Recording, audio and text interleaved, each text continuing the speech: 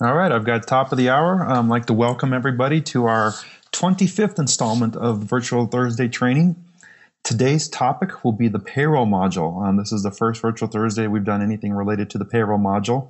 Um, we're going to talk about its setup, implementation, and some best practices. Um, without further ado, well, let's get started. That's me. I'm your lead trainer uh, with emergency reporting, and I'll be your presenter today. Uh, my name is Tom Louis, and I see a lot of familiar names on our uh, attendee list today. But if you're new to joining us, um, I'm a retired battalion chief out of Arizona, currently a paramedic, and uh, I've been an ER customer since 2004 and a trainer since the end of 2011. So I've been using the system a long time and seen it grow dramatically um, over these past 10 years. I always like to mention, um, those of you who have been with us um, over the weeks, I always talk about our uh, training opportunities that uh, we offer um, with emergency reporting. We have regional training conferences. Those are three-day conferences. I'll talk a little bit more about those on the next slide. We also offer on-site training specific to your department um, where we come to you, uh, spend time with your uh, members of your agency and really focus our training on, on the specific needs of your organization. Uh, those are often very, very successful. They're, and at times they can become informal too, or we're just doing one-on-ones with key personnel, for example. Uh, there was a time back east I went with the, the prevention department. There were two or three guys that just wanted to get down and dirty with the uh, with the occupancy module, and we spent um, quite a few hours just getting them very proficient with that. So we structure it exclusively to your needs. And then, of course, we have online training, um, very similar to our virtual Thursday training. However, um, a minimum of three hours is required. And again, that's driven by your needs. Uh, we can go through any topic within the system that you'd like, or we can have a more structured format for brand new customers. It's um, a lot of this is driven by our customers' needs. So we always like to say we don't put out canned presentations, and that's very true. We have some structured presentations, but a lot of times, especially on our regional training conferences on the day two, we uh, we let it be driven by the students' needs. So you walk away with the tools that you need to to get your job done and done efficiently within our system. That's the emergency reporting experience. That's our three-day uh, regional training conference. Day one is the essentials. That's the day I was telling you about. That's very structured. Um, it, it, goes over, it basically gives you a lap around the modules and then an in depth discussion and how to on both the incidents and the training modules, since those are very commonly used modules um, across the board with all of our customers. Then on day two is the integration day. And that day focuses on really it's on all of your needs. We do user stories and, uh, and you tell us what you want to go over in the system. And, and chances are, if you have a question, someone else has that same question, and, and everyone in the room benefits. And it's a fast paced uh, day. It goes by, uh, we're there for eight hours and we break for lunch. And before you know it, um, we've, we've covered a tremendous amount of information. So, really exciting and, and fun day. Then our last day is the leader, the lead ER. And that day, the morning, is driven um, by administrator needs. So we go over the administration module in depth um, item by item, basically. We also go over our reports module. And then the afternoon is all about um, an introduction to software development, and it gives you your a voice to participate in our development process. We discuss, everybody proposes ideas for the system to improve it, change it. Um, we take those stories, we discuss them, we debate them, and then we vote on the best one for each of our various product owners. And those kind of it kind of gives a little bit cuts in the line with our normal development process and gives gives the product owners what we call product owners of the various modules in our system a heads up that hey we've got customers that are really looking at this and uh, these different ideas, be it a report or a new feature function. And that's what we spend the afternoon doing. And um, the one we did in South Bay last month was a very productive, had a lot of active participation, and, and they came away with a realization of how challenging creating software, a good software product is. So all in all, those three days are, are really a highly productive and interesting day, and you'll walk away really in good shape to almost train, to really train a lot of members of your department on how to use our system. Next one's coming up. We've got ones in Golden, Colorado, in Yakima County, Washington, Orange Beach, Alabama, and Morris County, New Jersey. Um, that's just for the first half. Looks like we've got some on the books for the second half, uh, that will be in, um, again, another one in northern Alabama. And then we're looking at California, uh, Utah, and Ohio. Yes, and Casey's mentioning in lunch is indeed included every single day, and that keep that allows us to build relationships with everybody and to just answer questions. You know, the trainers are there. We we stick around and have lunch, and you come over and we can talk about different you know ideas and needs for your individual organization during that lunch break. So it's really really great opportunity to network with uh, fellow firefighters and uh, people using our system. When, uh, go ahead and uh, launch a poll real quick here go back a slide. And of course, we have 10 new or upgraded customers since we last met uh, last week. Let me go ahead and launch. I've got two polls today, two quick ones. And this one I know you've seen before, but we always like to get a feel for who, especially those of you that are new to our virtual Thursdays, if you'd be interested in any of these uh, these opportunities that we afford you. And again, Casey, our training coordinator, will give you a call or an email and just to reach out to you to see um, how we can make that happen for your organization. So if you wouldn't mind, uh, go ahead and select you can select one, one or more of the following. I think I set it up to where you can pick more than one, but if you're interested in any of these uh, opportunities that we afford you for training, either hosting a regional training conference, and if you host a conference, uh, you get 10% off of uh, you get 10% off of the fees for all of the members of your department. Um, then of course, if you just want to send one or two to one nearby, um, that ones we've got listed up on the board there, you can attend one. Um, on-site training is where we come to you and it's exclusive to your department. And then, of course, virtual virtual training, a minimum of three hours on that. So we'll give it a few more moments. If you wouldn't mind uh, just placing your vote there, I appreciate uh, you doing that. And we'll close it in 10 seconds.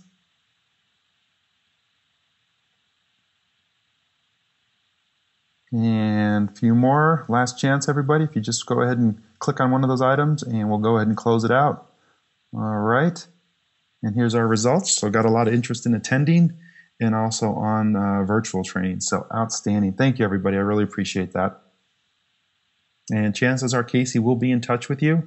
And as I've mentioned before, we will not send, send you countless emails. We will not be making tons of phone calls. It's just our ability to reach out to those, those of you that are genuinely interested and, and explain more of the details and opportunities there.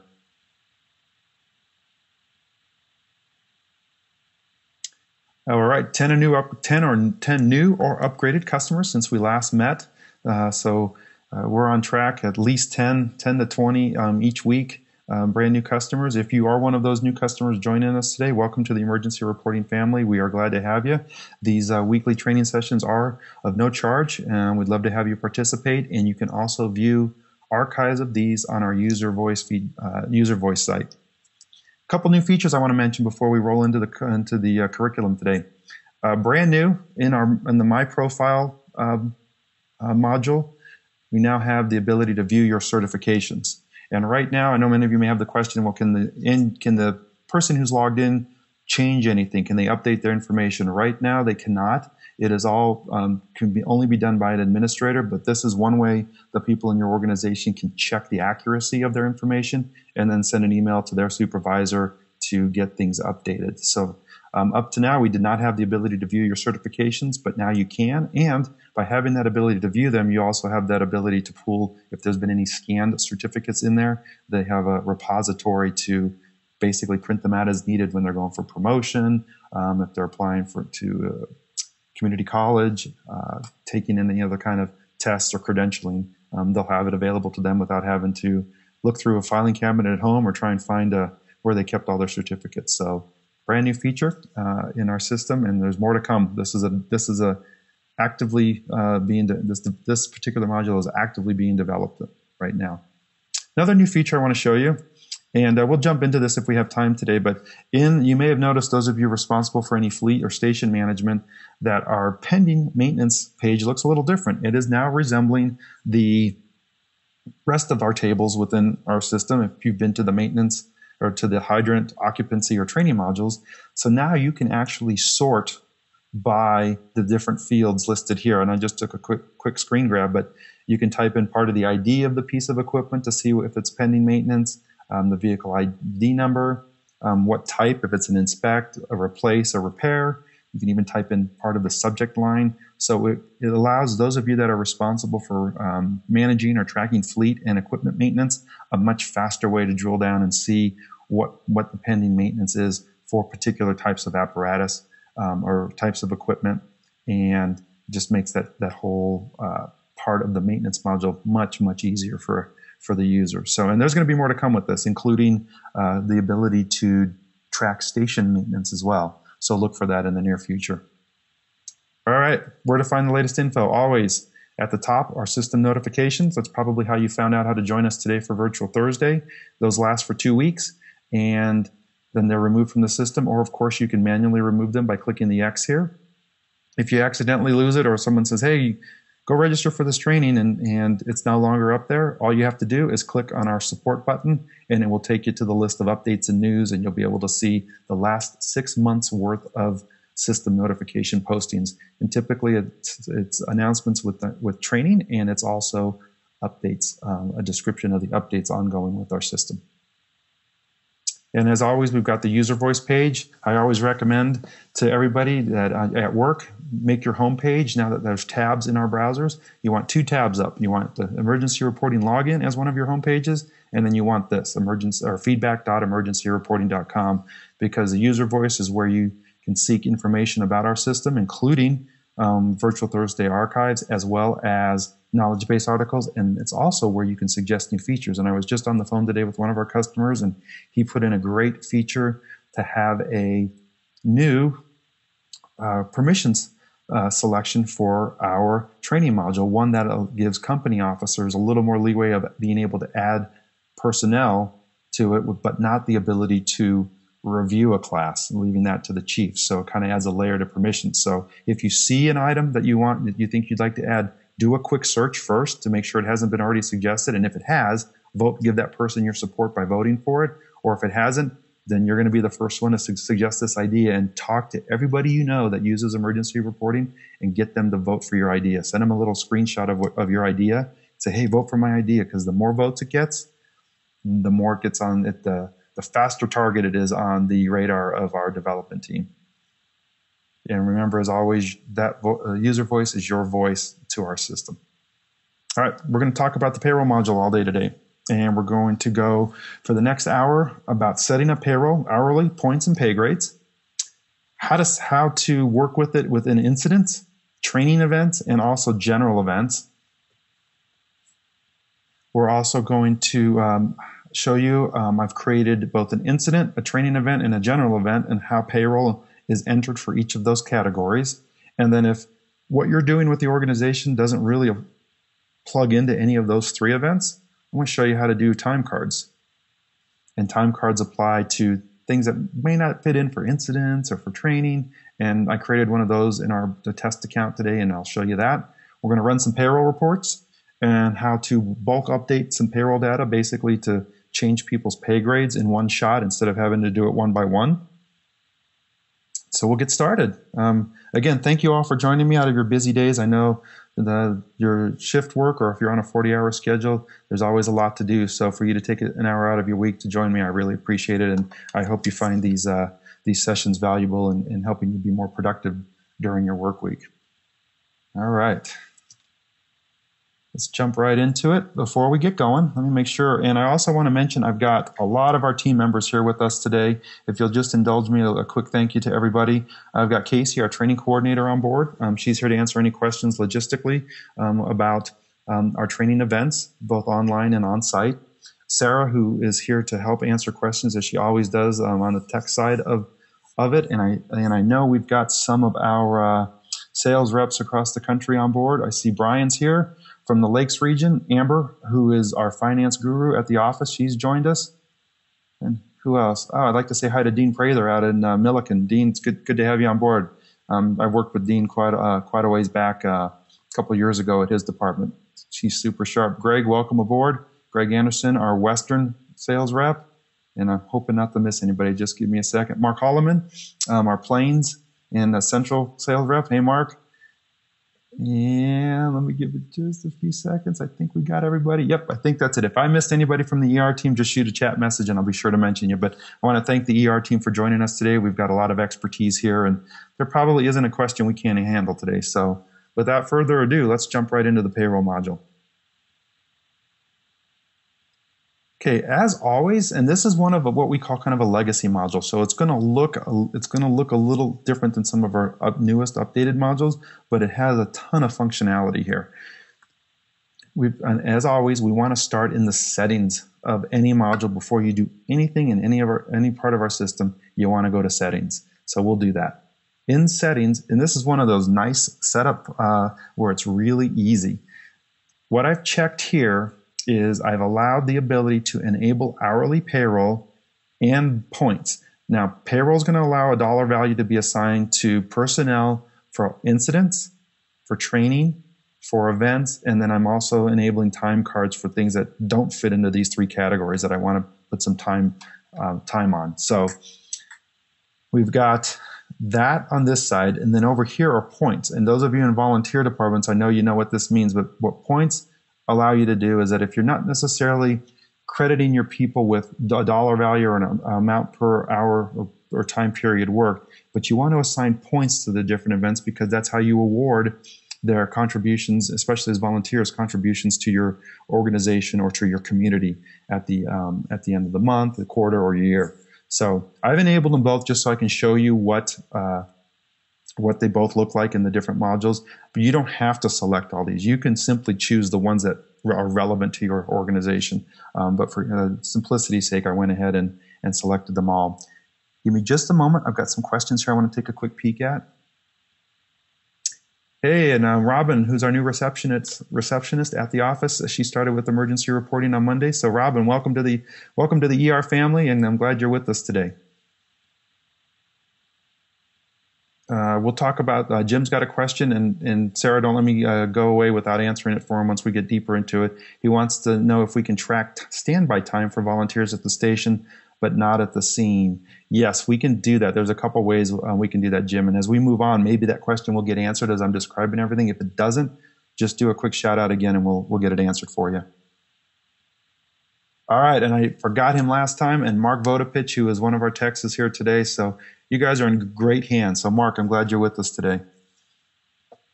And uh, Jim, I promise you, I will answer your question as we move forward. And I think part of it may be answered as we go through.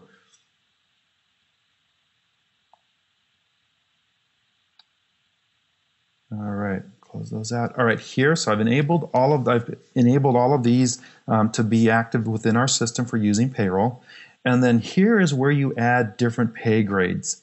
So we've got a lot built in here, but let me show you how you would add one. And it's really straightforward. It's super simple. So in this case, we wanted to put in, say, I'm just, I'm not creative today, so we'll just call it a test at $15 an hour. I click save, and now it's going to appear down here in my list. But what it also allows me to do is I can select, it, it, it's really populating drop downs for the different modules where we're going to use the payroll as well as the personnel module, and I need to show you that so you can see because that's one of the processes here that you don't have to do, but it will be a little bit of a time saver on the back end. Is in the personnel um, in the personnel list in the in the administration module. So those of you that have permissions for the administration module, I'm going to show you when you're adding people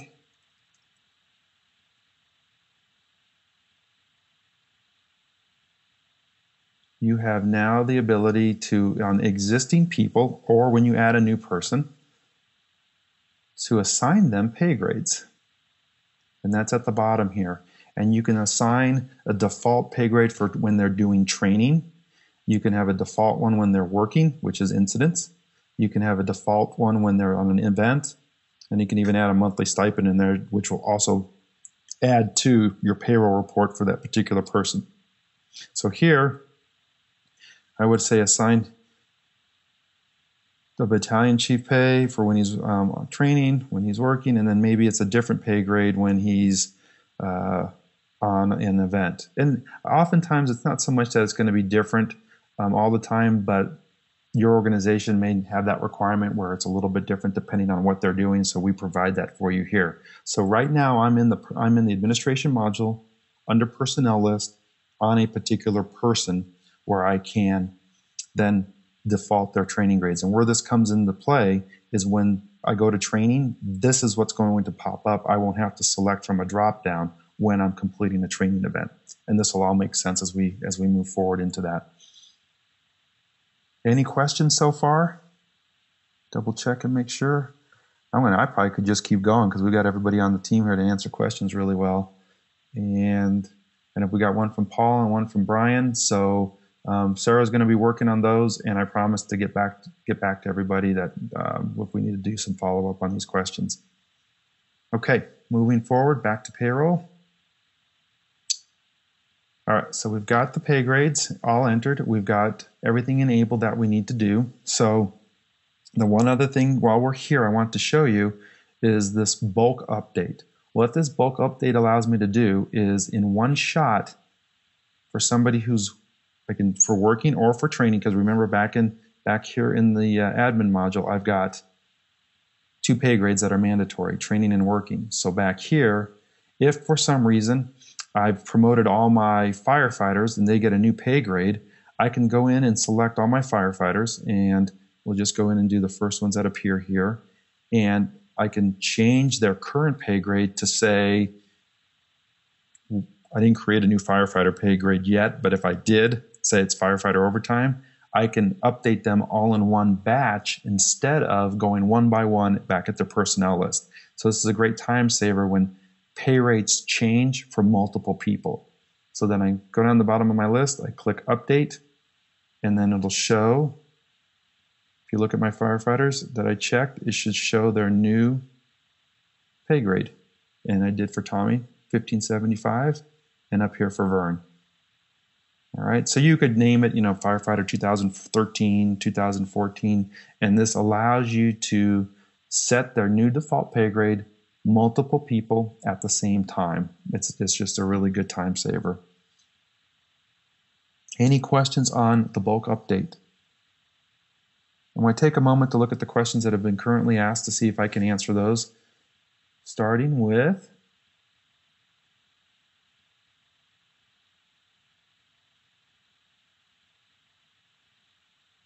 Yep, Sarah, thank you for answering Paul's question. You can assign a pay grade to anybody um, that you want, any pay grade to any individual. It doesn't have to be tied to their rank. Those particular pay grades were just created with those titles in front of them. So you can you can set it as steps. You can set it as without putting prefixes of titles in front of it. If you have various dollar hourlies, hourly amounts within your organization, whatever you would call it, Paul, you could you could set it as that. Let's see, Brian. What if a volunteer department pays by percent of incidents and training attended? Can they use the payroll module? Yes. Um, what I think you could do, Brian, on that one is just go ahead and, and log everything um, that they're doing, and then you'd have to pull that. There's a report I think you can do percent participated in the different um, events, and without jumping to reports, I don't want to tell everybody the wrong wrong report. You might be able to chime in on that one. But one of the things that that uh, they can do is if they need to do it by percent of incidents in training. So if, if I understand the question right, they're not necessarily getting paid for 100%, but say they go to 10 calls and they get paid for 90% of them or 80% of them. What the best solution there, I think, would be because in our when you do a training report, it's going to pull the, basically 100% of their participation. Is bring it out to Excel and then just create some formulas to uh, to um, to calculate it downward. I think that'd be a good way to uh, good way to do it. Uh, Dean, does this cause an issue if they attend training while on duty? Uh, no, I'll, sh- I'll show you that, uh, Dean, on that because what it's going to do is you're going to get paid for the training that they attended, and then you would have to the they get paid for incidents. Now, remember, by the shift, you would want to do a time card for a shift because remember, in the payroll module, you've got time that you can log for training events. You can have time you log for uh, incidents, and then you have for the duration of the incident, and then you have time for events. So if you wanted to log time period for a shift, you would want to do that in the time cards. Um, and I'll we'll, we'll get to that.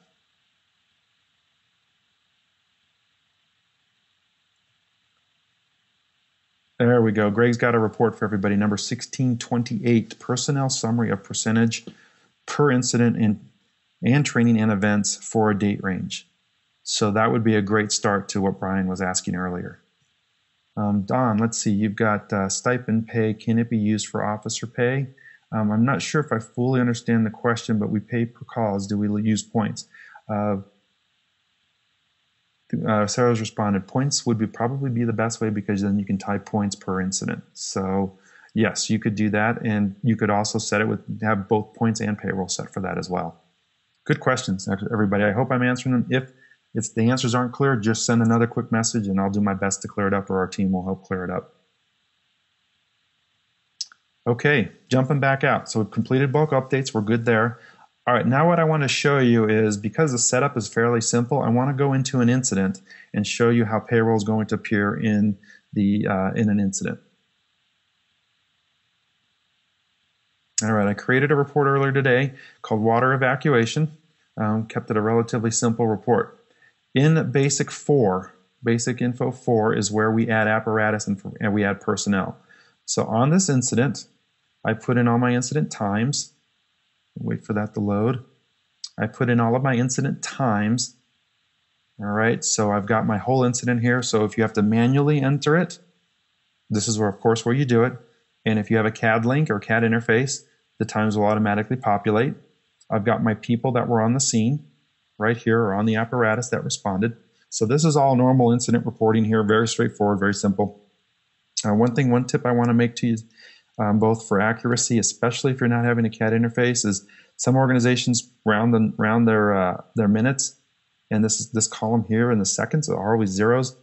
I would recommend strongly against it because you're going to shortchange yourself when you have a fast response time. So say they left at six minutes and zero one seconds, or 59 seconds, all right, and they got on scene at six minutes two seconds, uh, six six minutes and I'm sorry, 6 a.m. and two minutes it's going to show a full two minute response. But in reality, it was one minute and one, se- one second. So if you're not an agency that's using seconds here, you can certainly shortchange yourself. And yeah, it can benefit you when it's a long range and it's going to shorten your time period. But again, for accuracy's sake, and also even here for not so much for payroll, but again, it's it's one of those tips tips and tricks that I always like to mention. Um, i was actually surprised that even our agency back in the day wouldn't we're not entering seconds, and it's like no, we've got to enter seconds.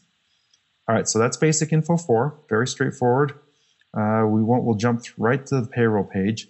And this particular page will appear if you have checked those boxes I showed you back at the payroll settings. So I did check enable payroll or enable yeah, payroll and enable points for incidents. That's why this page appears on all my incidents now. And because I selected both of them, it is going to require me to enter both pay and points for that incident. So as I look at it here, I can actually put in at this number, I can put in the, uh, the time for the, the, the, call. I rounded up to one hour, but I certainly could put in a fraction of an hour. So I rounded up to one, so it's going to give them one hour if I'm tracking payroll at their default pay grade, which I showed you um, on, on the administration page for the personnel list. So this, these were their default pay grades that I had set for them. And that prevents me from having to toggle through all of our pay grades that are in our system. It's just, again, it makes things just a little bit faster and figure you've got a, many reports to enter, those seconds start adding up. So um, make sure when you see red around anything or red text, it's required. So if I were to leave any of this blank, it would prompt me at the, uh, let's see if I fill here, it would prompt me at when I go to authorize it. Of course, because it's, I, I didn't save it. Let's do that. Always remember right now, guys, on here, if I fill points, if I change anything and I want to stay on that page, click Save or click Next because these are a little trick here. Save and go next, save and go back. If I went like I did and clicked up here, now you can see it's showing that it's red, which means there's something required that I didn't enter. And if I go to authorize or complete it, it's going to prompt me. But the cool thing is because this is has its own internal QA, to prompt the user, all I could have to do is go click on the hyperlink there, the orange text, and it's going to take me right back to where, oh, that's what I need to put in. So I'm going to go ahead and click it, fill it. Now it should be good, and don't do what I did. Click next, and then I'm good to go to review it. Keep in mind, too, that the only time that the payroll, the, the what I just did on the payroll page will be documented and able, available to you to create a payroll report is if the incident is reviewed. So it has to be green locked here, not just yellow locked. So I'm going to do that. So right now, I've closed that incident out. Let's go back. And it's reviewed, which means because payroll was set for this uh, incident, it is now open and available to me to create a payroll report. And we're going to do that as we, we go through these other, other parts of the system. And take a quick pause, uh, make sure we don't have any more questions that need to be answered. Let's see where we're at. Awesome. Greg and Brian, thanks for those reports. Yep. Sarah, thank you for answering Christopher's uh, question. Time card would work great for an overnight stipend. Uh, base pay, what you do for base pay, if I think I'm reading you right there, Don, um, you could put in there um, their monthly stipend that was in the payroll list. So if they get a base pay, almost like a salary, you could do it back there in the in the uh, personnel list. And if everybody wouldn't mind me indulging that for just a moment, I'll show you exactly right here monthly stipend. So if it's a set set dollar amount, not necessarily tied to an hour, that would be um, that would be the place to do it. So hopefully that's good. Does that help, uh, Don? And again, anybody else with questions, if they're not if they're not clear, I'll be glad to go back over it. So just let me know. All right, jumping back over. So that's incidents. Very straightforward, very simple, uh, but very effective, and you'll see that when we generate the report. All right, what I'm going to do next is I am going to go into training. This is for a training event.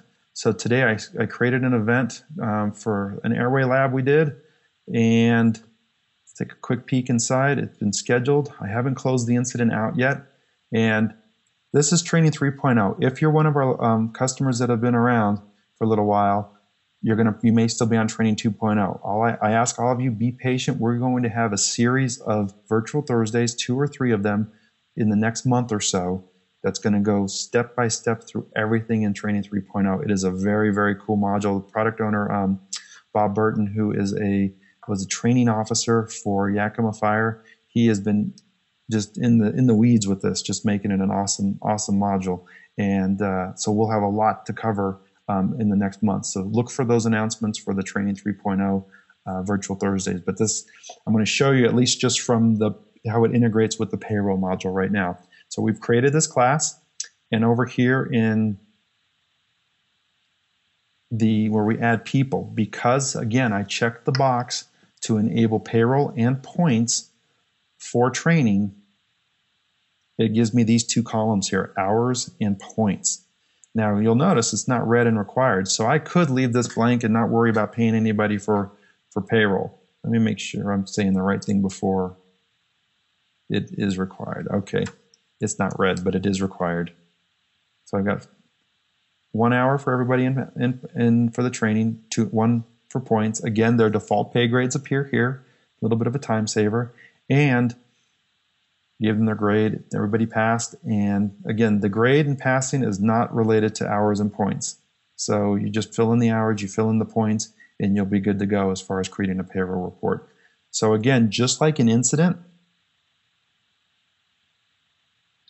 I've got to both complete and review it. Now, just so you know, I get because I have it full uh, full privileges for this module. I can do it all in one shot by checking this box here. I can set it as complete and reviewed. Some of you may just have the ability to complete it depending on your level of permissions. So if there's ever a discrepancy on what you're seeing on your screen versus mine, chances are on stuff like this, it's going to be a permission setting issue. So I'm going to go ahead and complete this class. And I want to show you a little quirk, especially if those of you that have training 3.0 and it's, it's being worked on. I just completed this class. Went from 7 a.m. to 8 a.m. It's done. It still shows as scheduled. Our goal is to get it to show reviewed, but I promise you, tomorrow, once the clock strikes midnight, this will turn green and say reviewed. It's a quirk right now in the system. So if you're seeing it, be patient. It, you've done everything right when you've entered your training. You've done nothing nothing wrong in the, in the entry of it. It just takes till midnight to clear that out. Um, and if you've been working in training 3.0, uh, this is probably something you've seen and have wondered why it why it does that. So it's on its way to be fixed as we as we move all of our customers over to training 3.0. So I just want to give you a heads up on that. Um, imagine we might have had a question on it. So, okay, questions on training. Question from Mike How would you use this for on duty training if you did not want the member to be paid uh, for the training because they are already being paid uh, for being on shift? Okay, excellent question. Now, what you could do, um, Mike, a couple things here. You could uncheck the box that says um, log payroll, um, enable payroll for training if the people that are in your organization that do training always do it on shift or if they're doing something off duty they don't necessarily get paid for it i would i would unselect that box and just not have any pay associated with training and if there isn't the event that they would do some training off duty then you could uh, simply do a time card form on that. So i think that's a great question. So what mike's asking is if you have people on shift say they're on a 24 hour shift and they're going to complete training but you don't want to you don't really want to they're not going to get paid anything differently because they're getting paid to be on shift.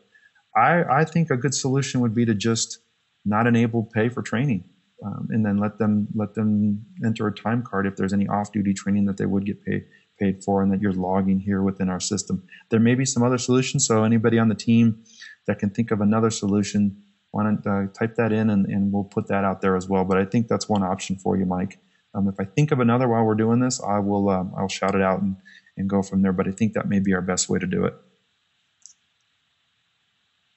The other one, come to think of it, actually, the other possibility, and I'd have to play with this, uh, Mike, but back here, I want to see if it'd let you put in zero. And I don't know if it does, but we could try that and, and play with it. I don't want to take up class time right now, but I will make a note. And if you want to stick around afterwards, we'll play with that a little bit. Um, training yeah, that's that's something I'd like to play with because I think that's a great question. All right, now we're going to jump back into events because remember we had uh, we had events. excuse me. We have uh, the ability to do events. So what I did was I created an event today called Honor Guard. And whoops, I created an event called Honor Guard. And let me unlock it so you can see how that event is set up. Again, this is a legacy module, um, but it's still very functional. Just looks, the interface, the user interface is slightly different from our newer modules. So today, Honor Guard, Chamber of Commerce, two hours. Then I went ahead and clicked Dave, Tommy, and, and Bob. They're the same crew that went on that incident and the same crew that did that training. So once I've got them, I click next, go to the next page, fill their hours and points because I checked both of those boxes. You, um, again, back at the back at the settings page, I selected both hours and points for events. I'm good to go. And now that event is locked. Again, locked events um, have the events have to be locked for it to to be able to be um, added to a payroll report.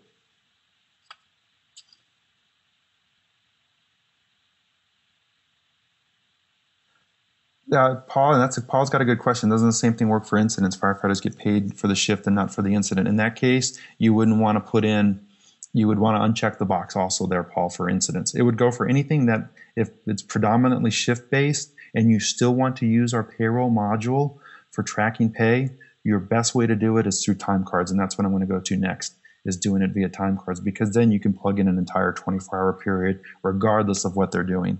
So that's that's for paid departments or combination departments. That's how I, I think would be our best solution. Sarah also has if you didn't want to if you did want to be able to enable like points because you're a combination department, you could have a pay grade, a default pay grade of zero. That is another very good option to do. Thank you, Sarah. Forgot about that pay that ability to do a pay grade of zero. So that is one another way you could keep it enabled, especially for combination departments where you want to track points and or pay um, for response, either off duty or on their time on their days or um, on call time. Just set a pay grade to zero, and it just won't. It won't. It'll. You'll be able to put in the one hour, but it'll be times a zero, so it won't add to the dollar value when you do a time card or a uh, payroll report. So a lot of good solutions. A lot of good solutions there. Thank you, Sarah. Okay, let's go back over to payroll. So we've got, I'm going to do a, pay, a payroll report here next, but I want to show you time cards. Time cards are yet another way to track time that doesn't necessarily relate to incidents, training, or events, or we want, like we talked about with both Mike and Paul, you wanted to just do it by their shift work, um, 24 hour shifts, 48 hour shifts, however it is, and document it that way. So here, we've got a time card I created, and from date to date, I just did it for today. Um, I can do it um, for multiple uh, dates if I need to, especially for 48 hour shifts. So I selected those three people again. And the reason I'm doing just those three people is when I go to do a report for you, I want to show you how it all ties together, um, these four, four ways to track payroll within our system. So I've selected those people. Then I'm going to click Next. I'll put in the hours and points. Again, the default pay grade shows up here. But as Sarah mentioned, um, if there's a default pay grade of zero, you can certainly set it to that. We probably have that in here somewhere. Yep, volunteer zero if you wanted to do that. One other trick uh, tip I wanted to mention to you, and while I'm here and I saw it, some organizations you may have volunteers, but you may want to be able to track and document and then demonstrate to the community leaders or the fire board, the board of commissioners, how much dollar value your volunteers are giving back to the community. So I think kind of a standard rate is around $22. It may vary by community and by state but you could assign all your volunteers at like a $22 an hour um, pay grade and then run a report on your volunteers and, and show them, hey, we've had a thousand hours of of uh, contributions during the month from all of our volunteers, and if you put that to a dollar value, you know you got twenty two thousand dollars worth of um, of labor that's being given back to the community, and it's a way of showing what you're saving and what you're contributing to the community. So you, that's why I saw the, the, the, pay equivalent here as a way to track something like that. So it's something to consider um, if that's a, a, report or something you'd like to report to your community. And go ahead and click next. Looks good. I've got the two hours. It even adds it up for me here on the time card. So imagine if I had it set for 24 hours, it would give me the ability to do 24 hours and then the total pay for that 24 hour period. That's where time cards come in very, very handy. So that's done. I've got that uh, VIP standby logged in my time card. Again, it could be a shift, it could be a partial shift, however you want to use it in your organization, um, where it may not necessarily, the event itself or the time period may not necessarily apply to an incident training. And I know this is kind of an event, but it was something unique, um, more of a standby that I didn't want to necessarily put in my events. Um, the better one is certainly like shift work here.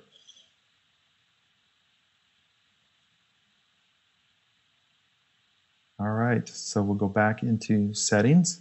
And now what I want to do here, um, I'm sorry, in the reports, what I want to do is be able to create a new report. Now, this is one thing unique, this button, unlike some of the other modules. This does not take you to a list of reports in our report module like it does in our newer updated modules. Because this is a legacy module, this report takes me to this page only. There are reports related to payroll in the report module, which I'll show you next but this this reports um, these reports are we're actually creating a payroll report, and I believe, and Sarah can can verify this for me that we are in the process of being able to um, export this like we can now with the CSV file, but that uh, be kind of like a CAD link, but with payroll companies. So you, it's like a it's a it's a faster way of getting all of this data that you're entering here to your payroll company because this really isn't a payroll payroll software where you can add taxes, um, take out taxes and social security and all that. It's meant to track it, but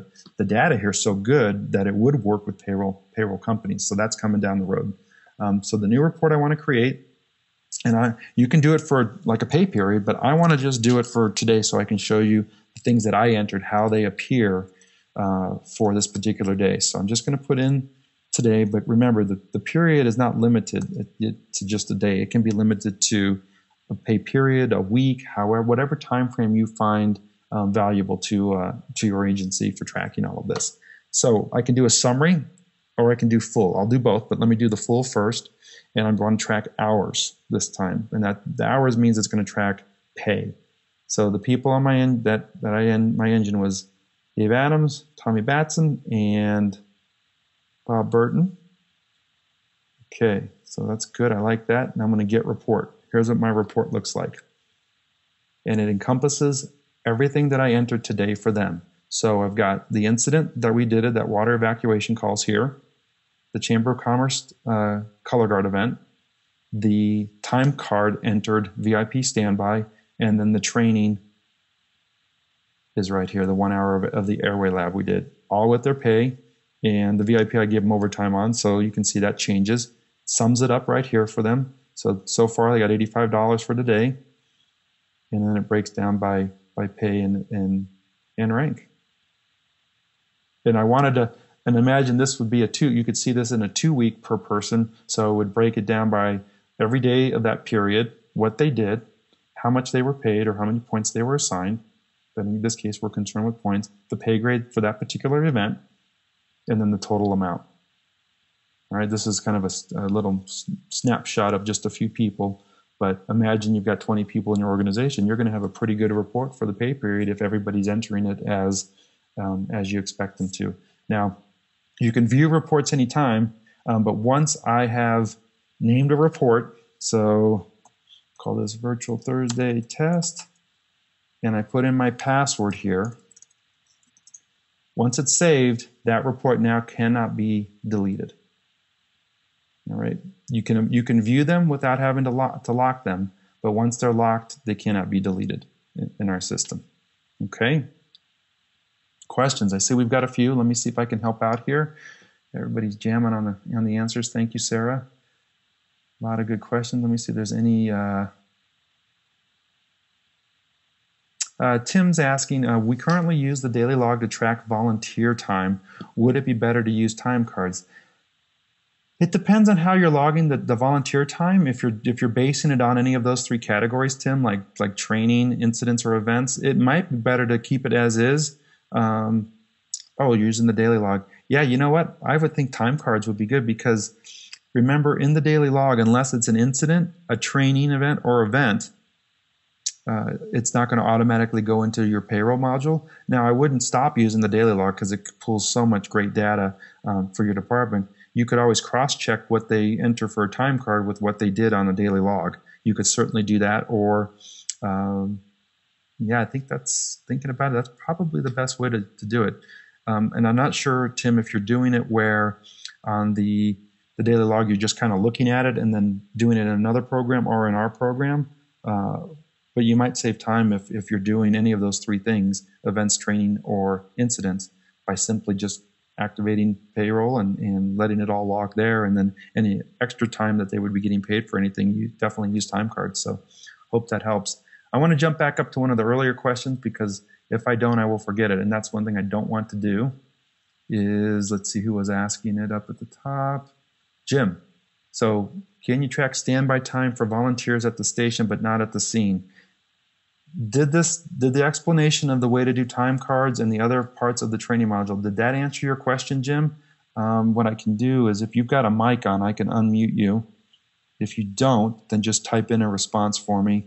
And yeah you don't have a uh, let me unmute you. And if you don't want to talk or say anything mike no worries. I'm just going to unmute you briefly here and see if that answered your question. Hey jim are you there? Okay no mic that's no problem Kind of. Okay. Try and reword it in a way that maybe I can try to do a better job answering it. A um, couple other questions. Let's see that haven't been answered.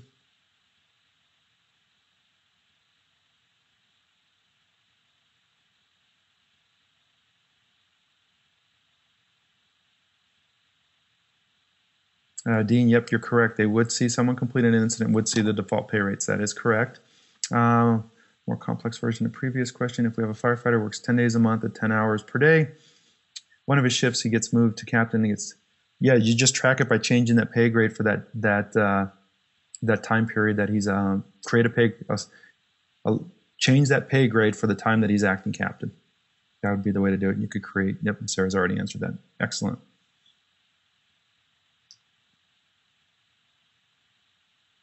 Okay, Tim's asking, when using a time card, can you have a report to have a weekly and monthly report for each person? Okay, let's go take a look. That's a good segue here. All right, so when you go to create a report here within the payroll module, you can set it for a time frame and by person. You can do individual people both for hours, points, full or not. The summary report would look like this. Um, it's more of a grid with no, not as many details, and I'm going to show you that, and then we're going to go into another part of the system here.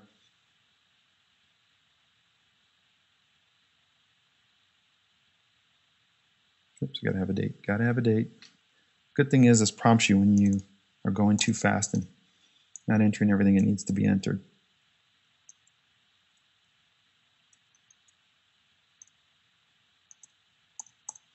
Okay, so we're just going to do a summary, and this is what this report looks like.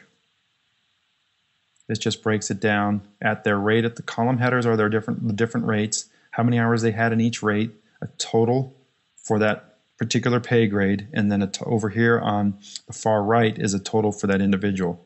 So it looks a little bit different. So the way to do it for a single individual uh, would be to go back. I'm not going to keep that report.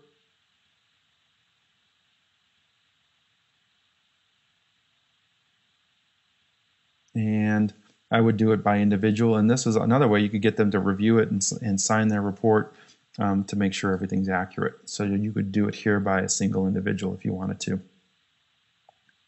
Okay, I want to, I'm going to move out into our reports module because there are some additional reports relevant to the payroll module out here in reports that are different from basically a almost like a page kind of like a paycheck stub here a little bit if you did it individual by individual, but certainly the ability to export these out by uh, to Excel allows you to work even more with this data into Excel. And if we, have got about 10 minutes, so if we've got time, I'll go ahead and export that one I created so I can show you. But let me uh, let me jump into the reports module here, and we're going to go into payroll.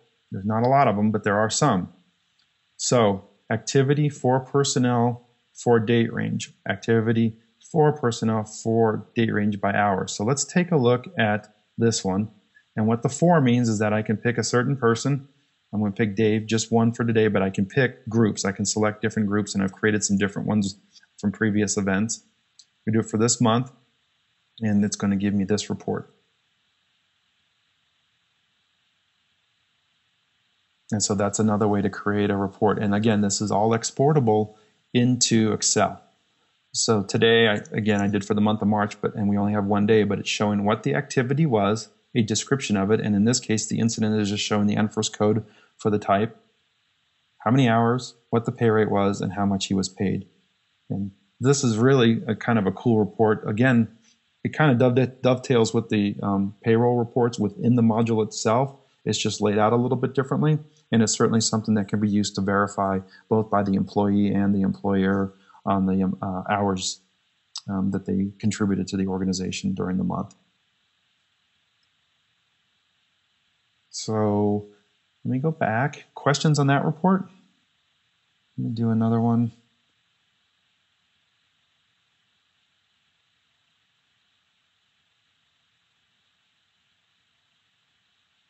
Okay, so just kind of scanning over the questions real quick. Give me a moment. I'm going to go back and see another report. And these are your breadcrumbs. So the fastest way when you're when you're working, say you wanted to get more payroll mod, trying to learn the payroll reports, don't go back out to reports. It's a habit I've gotten into over the years. It's a bad one. You follow your breadcrumbs back and go into payroll, and it's going to take you right back to. It's going to be a few less clicks that you have to do. So follow those breadcrumbs in the pathway back, and I can see uh, total hours by personnel for date range. Uh, I can pull that report, and I think this is the, yep, this is the one that our sales team was talking about. So let's take a look at this one for the month of March, all incidents. It's really, really small, so give me a second so you can see that. So I've got all the personnel, the points, the percentage, and this is geared towards, this is definitely clear towards points of the total time that they spent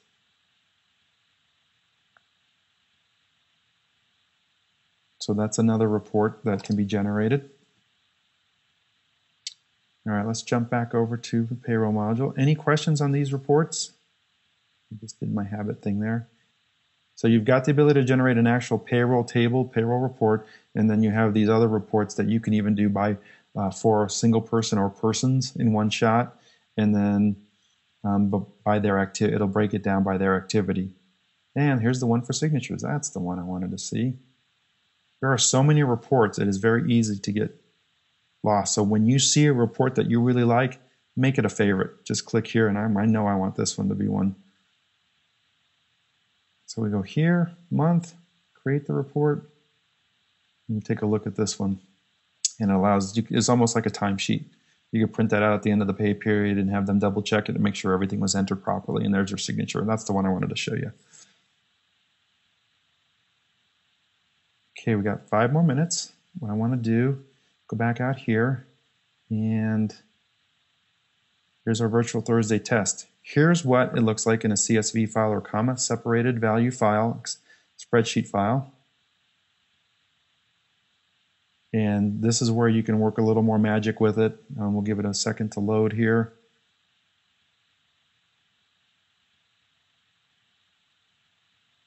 So it's that data, but in a way that you can alter it, make additional updates to it, and certainly at, at some point in the near future, some payroll companies will accept this data as an import to their system.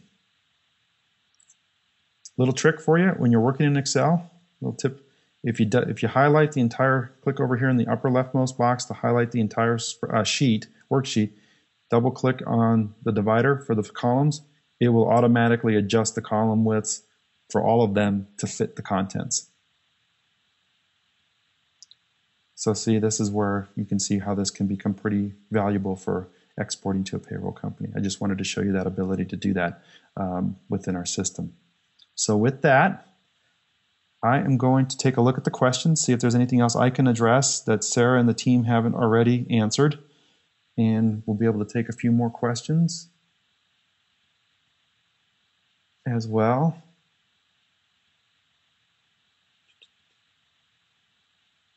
Okay, Paul, which the report, the one that I just did, the CSV, or the one with the, the signature line? If you could just type signature line on, on the chat, I'll pull that, I'll go pull that report number up for you. That may, I'm not sure the exact number. Signature line. I'll go to, I'll go get that for you. Um, give me just a moment here. And I, guys, as always, I stick around later if we need to answer some more questions. So just be patient. I want to get that report number for Paul, um, not for Paul, for Christopher.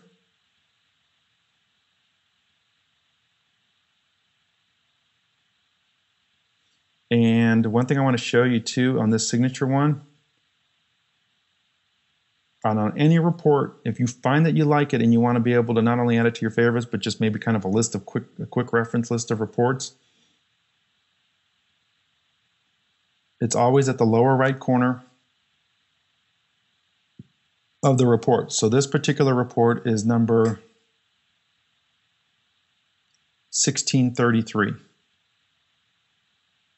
So it's 1633. And yep, Christopher, you're very welcome. No problem at all there. All right, let's take a look at these other questions.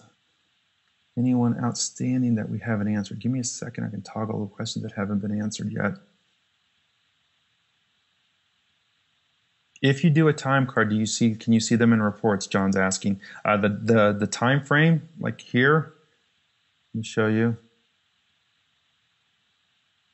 Ah, excellent question. Um, the VIP event is not showing here in because the time card is showing is separate. It is only pooling, and that's key, another key to look at, only closed events, reviewed incidents, and classes. So this would be for those three items only. Anything on the time card is going to be separate. Very astute and good observation there, uh, John. So always look at the bottom two because at the bottom of every every one of our reports will summarize where it's pulling that data from for the report. So this particular report does not pull from time cards. All right, looking up at the questions that have not been answered. I think, Dean, did we answer your question about uh, if they do training on duty? I want to make sure we get that answered, that you could set it to a default pay of zero or simply turn it off for training if they're only going to get paid for training while they're on duty. And that's one option there. Okay, I want to make sure we answered that. And Jim, your question was that did I make it clear enough for the question that you originally had? I know you said kind of there. Um, track time by volunteers at the station, but not at the scene. that would be you could do it a, you know a couple couple things you could make it an event where they're doing a standby event um, or standby at the station and make it as an event in the events module but not at the scene or you could simply do it as a time card i think you've got a couple options there to do that that would be two ways i would kind of play with it and see what works what works most effectively for you all right. I know we're at the top of the hour. If you've got to go, I completely understand. I just, like I said, I just want to make sure we've got these questions answered. Uh, let's see. Rick asked, we pay different rates for different types of events, such as calls based on the training level. They would. You can always change the pay, um, the uh, the pay grade for any individual, regardless of how. If they're all on the same event and each person may have a different pay grade, uh, Rick, you can change that for events, um, for training, and for incidents. So I'm hoping I'm hoping that answers. Uh, I'm hoping that answers your question. And I think, I think that covers all the questions that either Sarah uh, was able to answer or I've been able to answer. If I did not clearly answer any of your questions, please send a, send a, send another question my way. I'll stick around for at least you know five or ten more minutes to make sure they get answered. Um, anything from uh, Mark? Thanks for that. It's report 1633, and then we went back to that. Um, Mark, team, anybody else that you'd like to chime in on the payroll module? I know we get quite a few questions on these. Um, by all means, if there is, I'll, I'll unmute your mic and we'll get you to chime in. Same goes for anybody who has a question now at the end here. If you want to simply ask it, just either use the raise your hand button or type in your question. And I'll stop talking for a minute.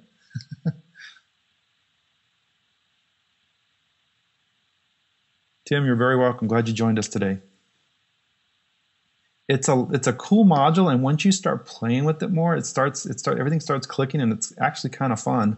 Um, it's like i said it's not a full-on payroll program but it is very useful for tracking a lot of that information you need especially when you've got to give reports to your uh, either board of directors uh, town council city council. It gives you some it gives you some pretty good tools All right, as we wrap things up, I want to thank everybody uh, for joining us today. All of our customers, thank you so much for being here. Next week's topic is going to be um, occupancy, um, both conducting an inspection and conducting a re-inspection. We're going to have uh, one of our other regional trainers join us, Tommy Batson out of uh, North Carolina, and then one of our power users out in Avondale, Arizona, Roger Parker, is going to be um, a guest speaker to tell us, share with us how he uses um, the occupancy module for when events come to Phoenix International Raceway. So it's going to be a good event next week. Uh, I'm looking forward to having you all on board. To, of course, everybody on the ER team, thanks for helping me out today. You guys are fantastic as always. Uh, I couldn't do it without you. So everyone have a uh, have a super day. Be safe out there, and I hope to see you next week, uh, same time, same place.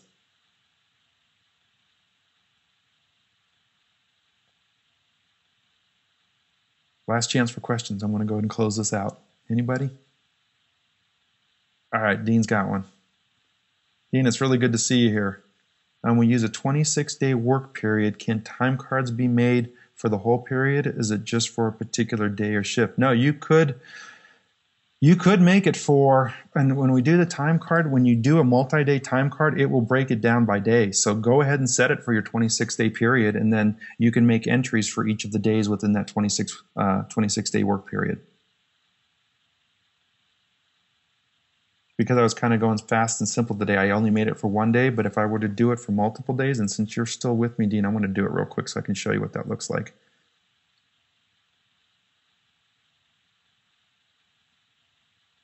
So if I want to create a new payroll report, say we've got, just for an example, I just want it to go to the 26th of March, say that's our period.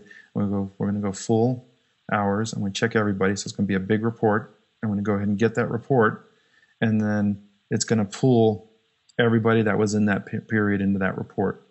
All right, and in the time card, same back in the time card, I, I'm going to add a time card for say March, and we're going to go with March 3rd.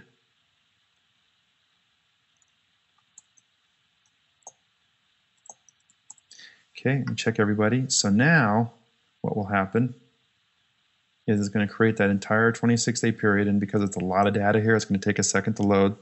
So bear with me. It's really big. Hopefully I won't crash anything. But it is a way to do it. All right, let's go first. There, it did it. All right. This is going to be a lot. We're going to tax the system today. No, not really. It's just because it's so much to load on a single page. That's why it's taking so long. Maybe Tom just needs to be smarter. Let's do this. I'm just going to check a handful of people. So at least you'll get the gist of it. And you could do this by, you could even select just the personnel on a particular shift for that time period. Okay, let's make it a little faster. And, and Dean and Mike, this would, this would apply to you as well, Mike.